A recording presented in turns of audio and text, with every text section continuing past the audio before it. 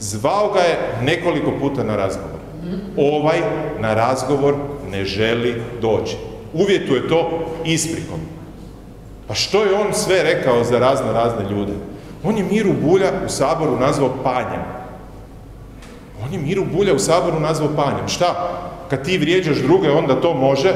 Kad dobiješ natrag istom mjerom, onda šta? Plaćamo. Idemo kući. U suzama. Jer je neko dignuo njegovu tankočutnu dušicu.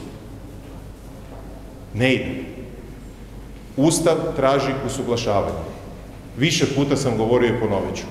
Ustav traži usuglašavanje oko vojske, oko vanjske politike, sigurnosnog sustava.